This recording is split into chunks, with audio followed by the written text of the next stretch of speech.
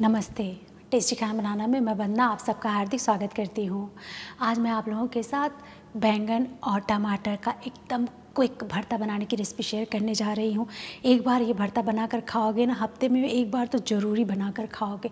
Believe me इतना tasty और इतना इजी है बनाना इसको। चलो हम शुरू करते हैं बनाना।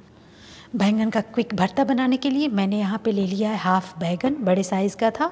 आधे का दूसरा रेसिपी बनाया है और आधे का हम भरता बनाएँगे।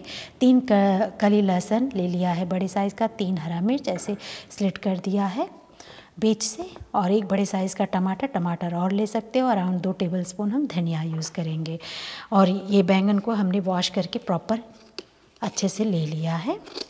साइड का ये निकाल देंगे हम। एंड देन बीच से हम इसको थोड़ा सा हाफ़ कर देंगे। हाफ़ ताकि भुनने में थोड़ा सा आसानी हो ना हमें। इस तरह से। यहाँ पे मैंने रख दिया है कढ़ाई। इसमें हम अराउंड दो टेबल स्पून मस्टर्ड ऑयल डालेंगे, सरसों का तेल। आप जो तेल पसंद करते हो, वो डाल सकते हो, लेकिन भरता वगैरह सरसों के तेल में ज़्यादा टेस्टी होता है।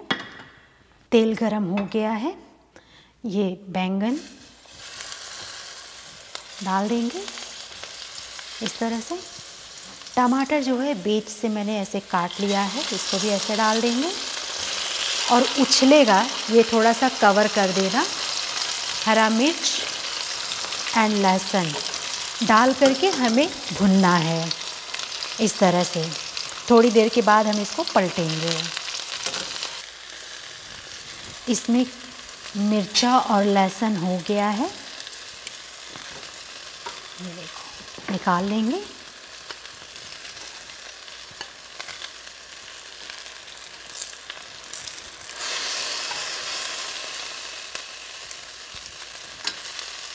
टमाटर भी ऑलमोस्ट हो ही गया है।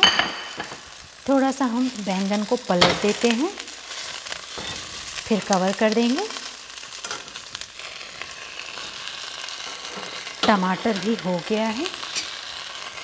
थोड़ा सा मैंने ऊपर से नमक डाल दिया है ताकि जल्दी बैंगन सॉफ्ट हो जाए। टमाटर का जो स्किन है ना, हम निकाल लेंगे।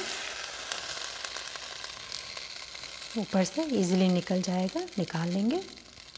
बाकी अभी थोड़ा कसर इसमें बाकी अभी पकाना है।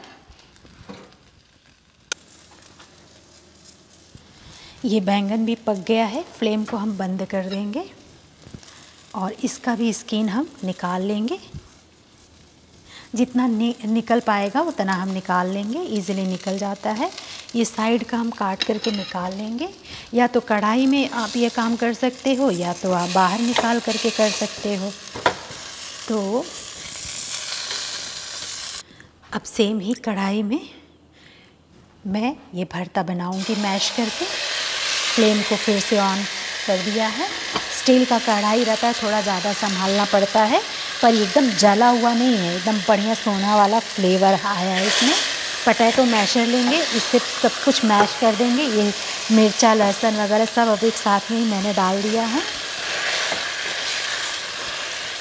या पटैटो मैशर ना हो आपके पास तो आप बाहर भी मैश करके आप फिर से कढ़ाई में डाल सकते हो, या ग्लास कटोरी से भी मैश कर सकते हो। मैश करने के बाद ऊपर से हम स्वाद के अनुसार नमक डाल देंगे। फ्लेम को मैंने मीडियम पे कर दिया है। नमक अभी तक डाला नहीं था। थोड़ा सा वही भुनने के टाइम पे मैंने बैंगन में डाला हुआ था। एंड देन थोड़ा सा दो पिंच जितना मैंने अमचूर का पाउडर डाला है, ये ऑप्शनल है। आप चाहे तो इसको स्किप भी कर सकते हैं। टमाटर डाला हुआ है ना? अब हम अच्छे से और मैश करके दो मिनट हमें भून लेना है। और मसाला वगैरह अगर मैं आपको डालना है ना इसमें, हल्दी, धनिया, मिर्ची का पाउडर, वो सब डाल सकते हो। लेकिन एकदम सादा सिंपल बना रही हूँ, जो टेस्ट इसका आएगा ना, वो मसाले वाले का टेस्ट और इसका टेस्ट एकदम ज़मीन आसमान का फ़र्क पड़ता है। ये भरता बन करके रेडी हो गया है। ऊपर से हम थोड़ा सा हरा धनिया डाल देंगे। मिक्स करके दूसरे बर्तन में हम निकाल लेते हैं। ये रहा भरते का फाइनल लुक एकदम इजी और जल्दी बनने वाला ये है भरता की रेसिपी अब इसको चाहे आप बाटी के साथ खा सकते हो या तो रोटी, पराठा के भी साथ इसको एंजॉय कर सकते हो। कैसी लगी ये भरते की रेसिपी अच्छा लगा होगा ना? प्लीज़ जैसा भी लगा हो कमेंट सेक्शन में लिख के मुझे ज़रूर बताना। मेरे इस वीडियो को, मेरी इस रेसिपी को ज़्यादा से ज़्यादा शेयर लाइक जो नए होंगे इस चैनल पर प्लीज़ सब्सक्राइब ज़रूर कर देंगे। मैं आप लोगों को नेक्स्ट रेसिपी के साथ मिलती हूँ। Thank you bye